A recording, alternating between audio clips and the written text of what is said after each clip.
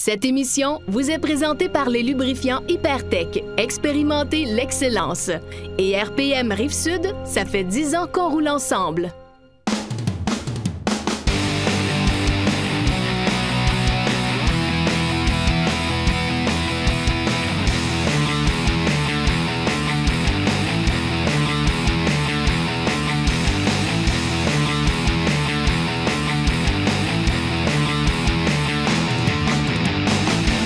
À tous, bienvenue à Motocross Québec. Aujourd'hui, on est du côté de Saint-Tech, une piste qui a été tranquille pendant les six dernières années, mais voilà qu'elle reprend vie en force avec une manche assez impressionnante aujourd'hui, vous allez voir.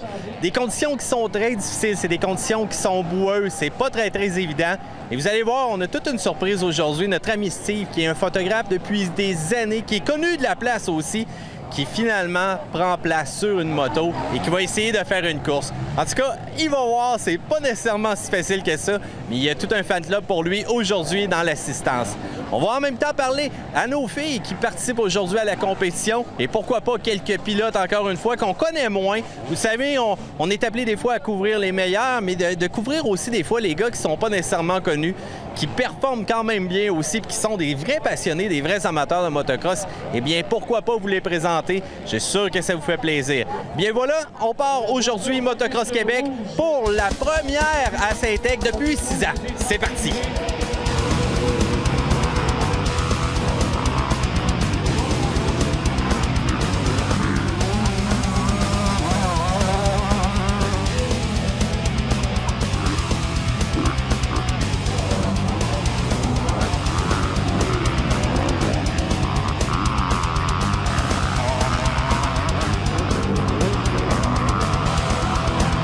Ça fait un bon bout de temps que la piste était inactive. J'aimerais que tu me parles un petit peu de cette histoire-là. Oui, j'ai été six ans. Euh, la dernière édition qu'on a eue en 2009, euh, on avait présenté le national. Puis euh, on a arrêté pendant six ans parce que j'ai pris possession d'épicerie du village, puis j'ai dû investir beaucoup. Fait que j'avais d'autres activités, d'autres priorités. Mais maintenant, on a repris le dessus un peu, fait qu'on repart l'événement. On est reparti en grand pour les trois prochaines années officiellement. Fait que, les permissions sont toutes là, pas de problématique avec la piste. Même si on est zoné agricole, on a tout ce qu'il faut pour réaliser les événements. Exactement. J'ai mon permis pour trois ans, fait que les trois prochaines années, on devrait présenter un événement à Santec. Ta piste, on a mis beaucoup d'efforts à l'intérieur. Quel serait l'obstacle le plus euh, risqué, si on veut? Bien, cette année, on a rajouté une section qu'on peut voir ici en arrière, là, un gros double. qu'on a... C'est une ancienne section qui avait des... De, deux sections de double, des plus petits, qu'on a fait un gros, gros saut avec. Il y a beaucoup de, beaucoup de gros sauts. La dénivellation, le terrain a beaucoup de dénivellation aussi. On est en bordure du lac aussi, c'est vraiment... C'est, vraiment apprécié des coureurs. C'est vraiment site, un site exceptionnel par rapport aux autres. J'avoue, ça se différencie totalement. On semble avoir un composite quand même assez dur aussi sur la piste. Ça peut la rendre rapide pour les pros? Oui, quand la piste est asséchée, là, elle est vraiment rapide. Puis euh, c'est ça, le, le, notre piste est large. On est tous, étant donné qu'on a présenté un événement national, on est tous conformes euh, au niveau national. C'est sûr qu'on a investi beaucoup, beaucoup, beaucoup sur la piste. Parfait, Eric, merci beaucoup. Ben, merci, ça fait plaisir.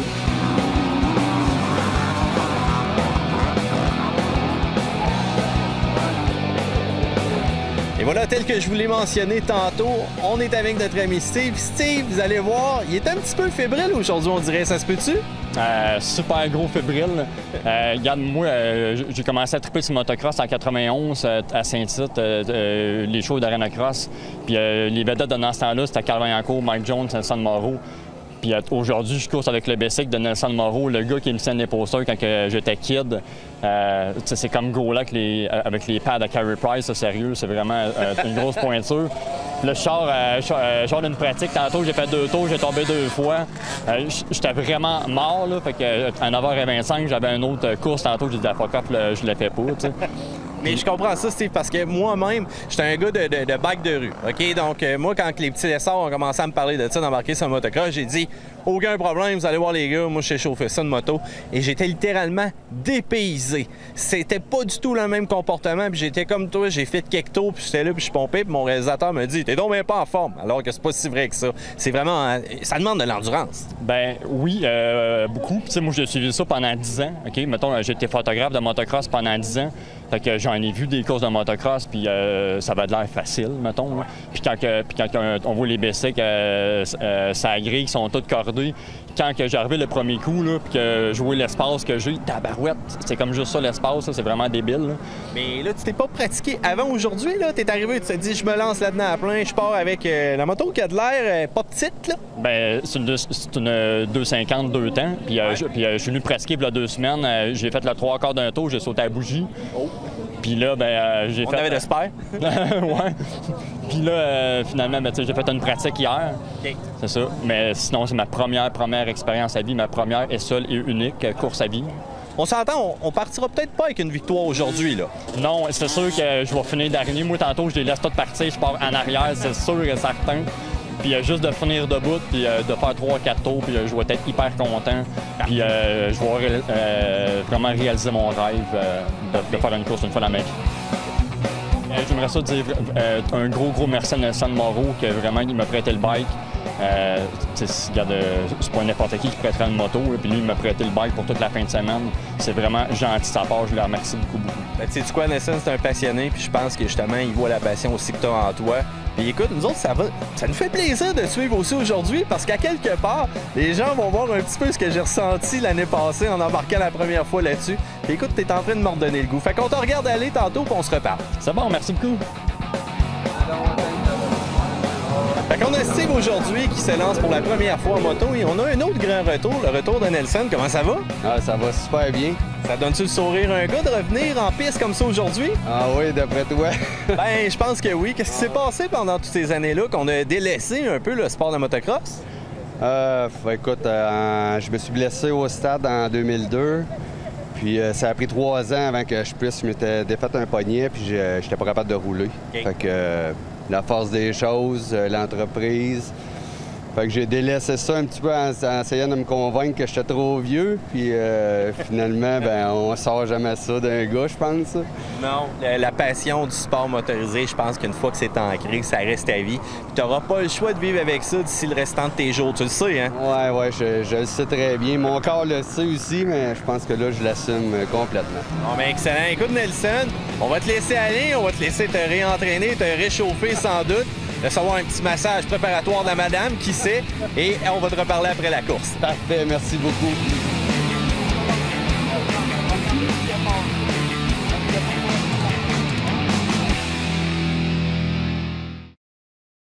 ADM Sport, fier partenaire de Motocross Québec.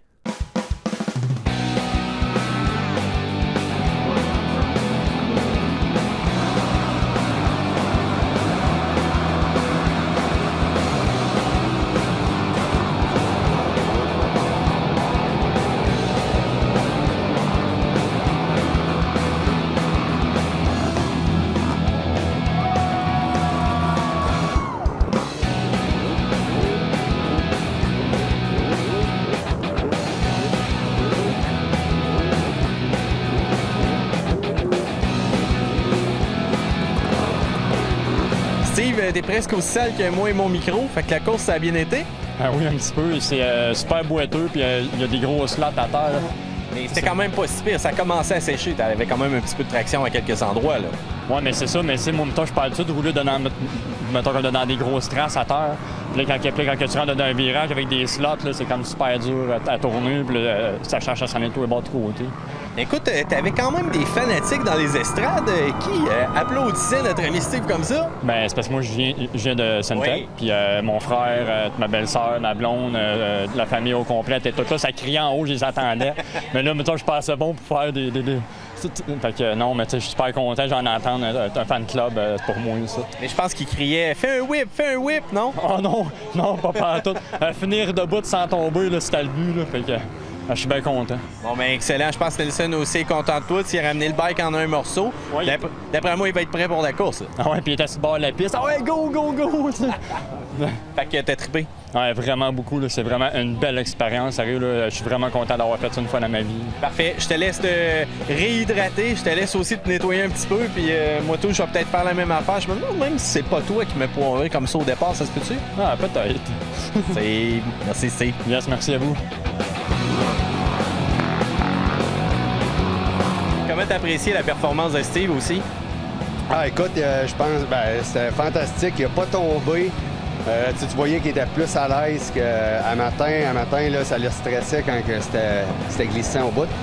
Mais euh, non, il était euh, tout sourire en enlevant son casque. Puis là, c'est comme si le, le stress te lâchait un peu.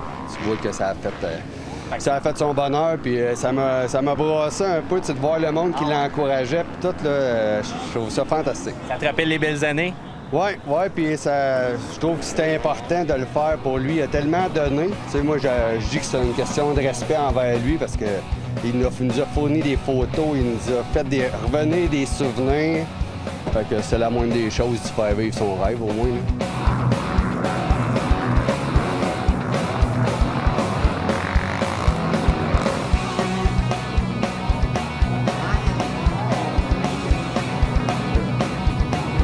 A quelque chose que je tripe, c'est de voir justement la passion qui peut monter dans les petits jeunes. Et certains sont tellement en bas âge. Michael, premièrement, toi, tu te spécialises là-dedans d'enseigner aux jeunes à comment manier un motocross. Même à cet âge-là, je regarde, là, ils sont pas vieux, là. Non, ça passe, c'est de 6 à 12 ans. Dans le fond, c'est des jeunes à partir de 6 ans qui peuvent en faire. Euh, la seule aptitude qu'ils ont besoin de savoir, c'est de, de de faire du vélo à deux roues, dans le fond. Fait ça commence avec le vélo, on enlève les deux petits trous justement pour euh, développer l'équilibre. À partir de là, on est capable d'embarquer sur une petite moto. Ouais, en dedans de 10 secondes à peu près, le jeune, on est capable de le partir. On passe au-dessus de 4500 jeunes là, par année qu'on initie euh, là-dedans. Là, on est pas mal, on est les plus gros dans le fond euh, au Canada. Euh, on, part vraiment de la base avec eux autres. On leur explique comment est-ce que la, la manette à gaz fonctionne, le break. On y va surtout avec les techniques de base, regarder loin. Puis euh, d'ici là, après ça, aussitôt qu'il a compris ça, là, il est capable de partir. Puis on- il fait un bon 10 minutes à moto de moto. Là. Qu'est-ce que t'as appris? qu'il fallait pas lâcher le gaz. Non, qu'est-ce qui arrive si on lâche le gaz? On tombe. Tu t'es pas fait mal, là. Non. Non? T'as aimé ça, là? Tu vas-tu devenir un pro pilote là, de motocross plus tard? Peut-être.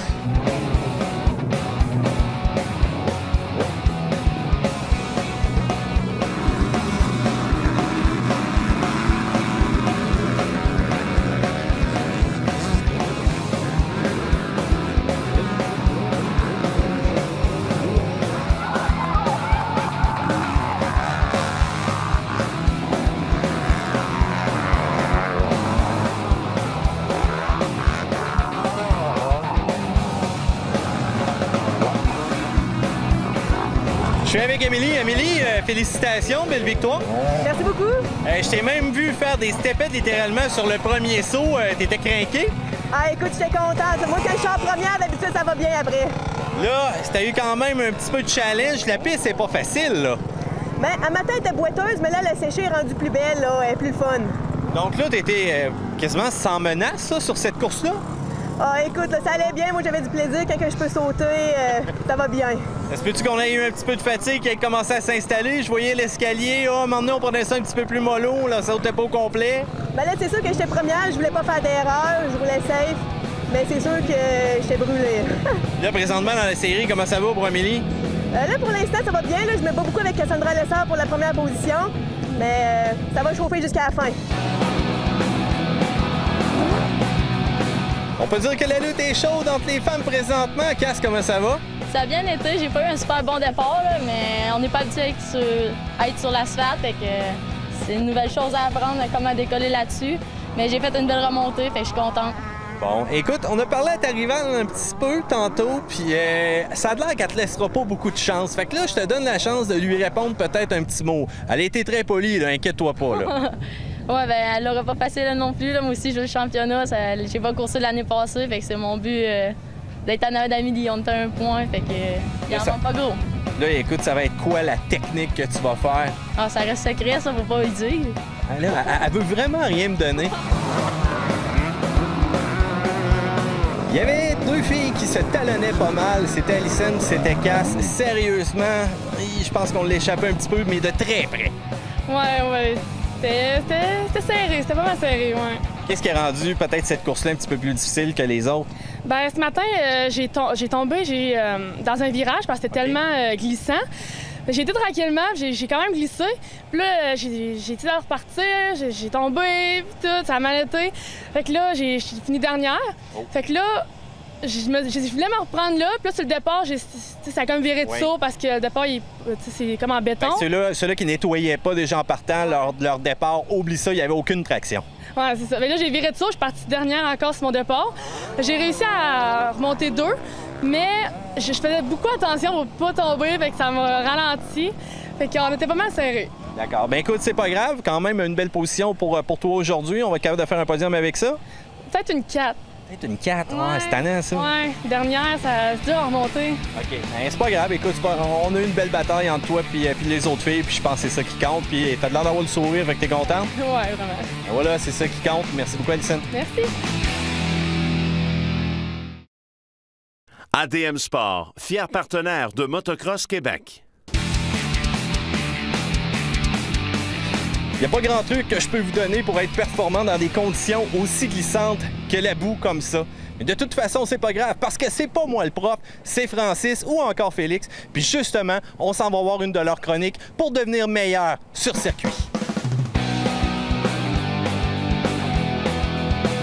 Accélération, c'est le fun d'avoir de la puissance, mais cette puissance-là, ça nous amène à rouler vite. Et qu'est-ce qui nous arrête? C'est les freins. Francis, comment ça va? Ça va super bien, toi, Mathieu? Super. Avant de commencer, la slush, est-ce que c'est correct en course quand il fait très chaud? Ou...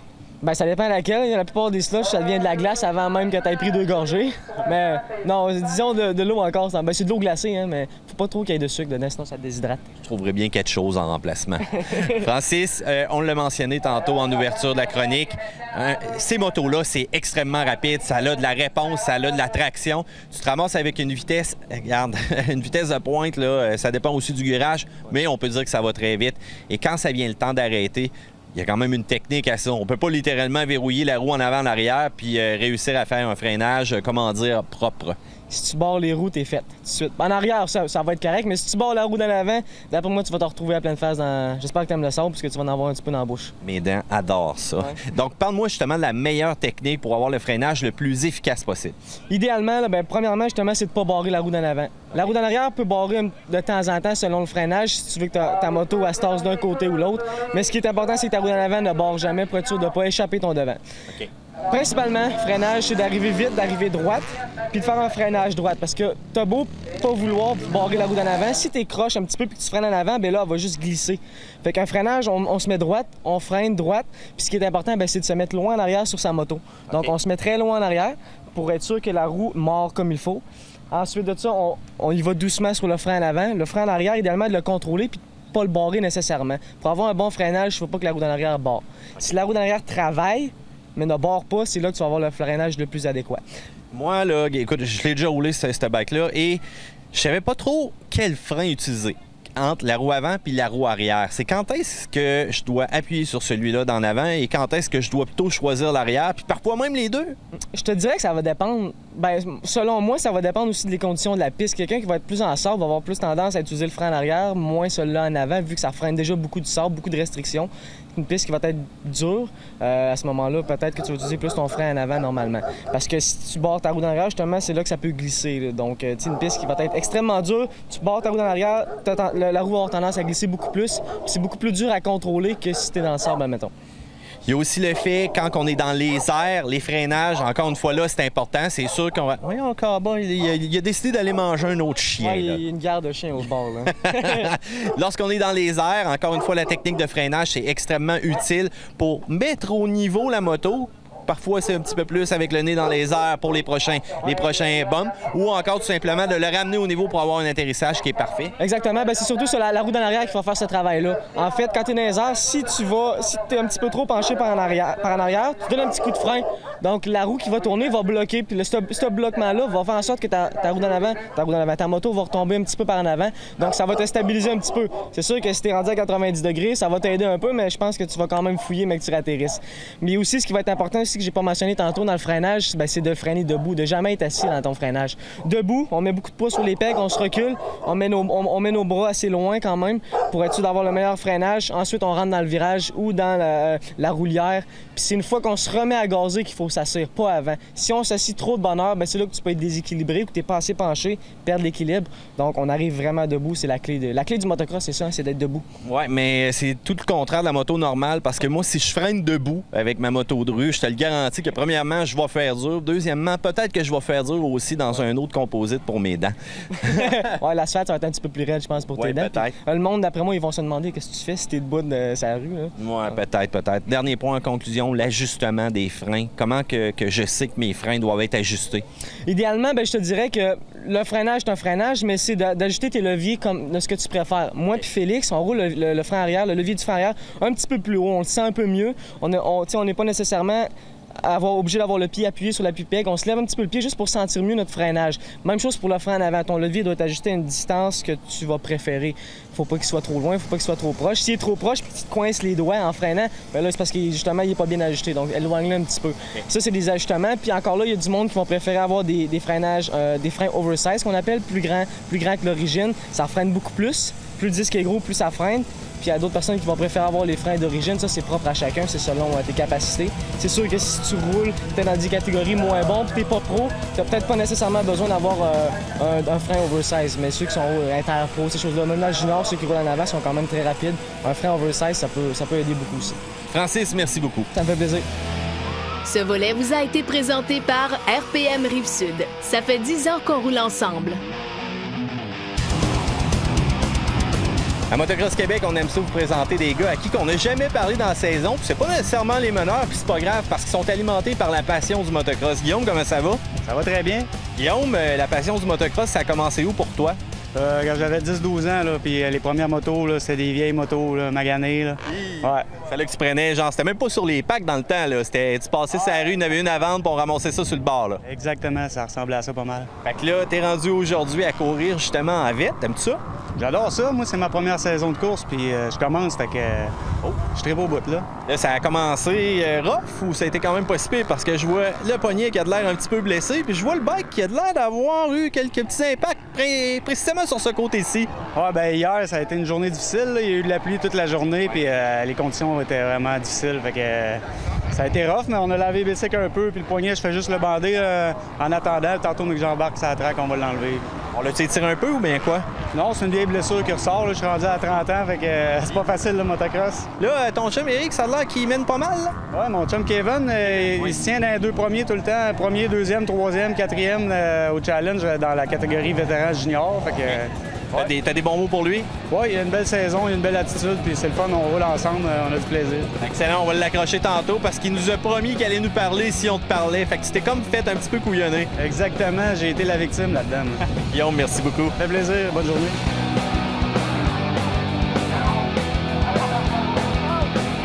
Je suis avec le gars qui mène présentement du côté Vet Junior et ça, j'aime ça parler aux champions des fois. Ça, ça fait du bien à l'estime, ça. Ouais, c'est un petit stress, par exemple, quand t'arrives sur la gate contre les autres. là. C'est sûr que les autres, ils savent c'est qui le meneur, fait que... C'est pas long qu'ils te ciblent. C'est ça. Et là, justement, une course aujourd'hui, les conditions sont difficiles. Ça, te- ça l'augmente-tu un petit peu les craintes en toi? Ouais, avec les pratiques d'hier, euh, c'était assez dur, là. C'était coulant. euh, J'ai pas chuté, par exemple, mais c'est des choses qui peuvent arriver dans la journée, là. Là, les gars là, qui euh, te visent là, présentement, là, ça serait qui, là? Le numéro 24. Ça, c'est qui? Qui est euh, Nicolas Archambault. Je c'est- le prénom, là. Qui est le deuxième, dans le fond, qu'on challenge pas mal à toutes les, les semaines. On parlait, à, on parlait à Guillaume aussi, un autre de tes amis. Euh, quel conseil tu lui donnerais? Parce que lui, il veut, veut pas, c'est sa première grosse saison. Fait qu'en tant que chum, là, quel bon conseil idéalement que tu lui donnerais? Gaz!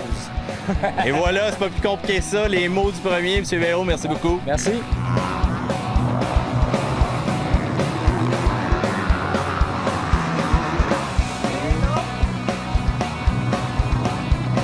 Un gars qui doit être essoufflé aujourd'hui, Félix, il y a vraiment un rythme de l'enfer pour les courses. là. L'enfer, c'est le cas de le dire. Pas de pause, rien, back-to-back, tu fais, t'es, t'es en, t'es en shape pour faire autant de courses que ça? Oh, je suis petit, mais je suis pas mal en shape pour ça.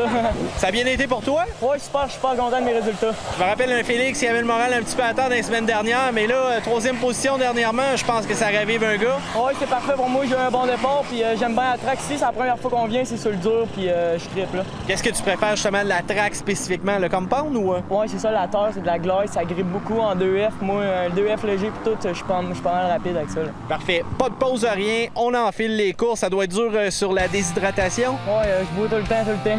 En tout cas, j'aimerais savoir un cardio comme toi, Félix. Lâche pas, continue. Merci.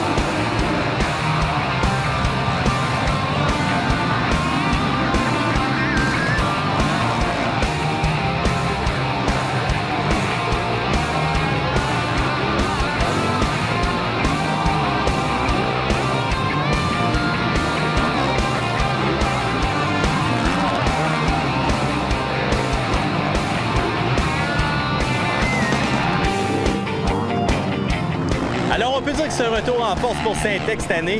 Il faut dire que les pilotes apprécient. Ça, je pense que c'est aussi un gage de franc succès. La météo a joué des tours à certains. D'ailleurs, moi, ça n'a pas été nécessairement évident non plus pour les pilotes. Et on assiste présentement à une fin de journée avec une piste qui est totalement sèche. C'est comme ça les courses, il y a parfois des imprévus. D'autres fois, la température va changer et ça va donner un, avance à certains. Mais une chose est sûre, le pilote, quand il tripe, c'est ça qui prévaut. Et avec un podium, c'est encore mieux. Et bien voilà, j'espère que vous avez apprécié l'émission de Motocross Québec de cette semaine. Restez à l'écoute, il en reste pas gros pour la saison, on achève bientôt. Et si jamais vous voulez des petites vidéos on the side de la piste, eh bien allez voir notre page YouTube et Facebook Motocross Québec. Et voilà, à la semaine prochaine. Je vous appelle ma mère, je vais aller euh, faire nettoyer mon lunch. Motocross Québec vous a été présenté par les lubrifiants Hypertech. Expérimentez l'excellence. Et RPM Rive-Sud, ça fait 10 ans qu'on roule ensemble.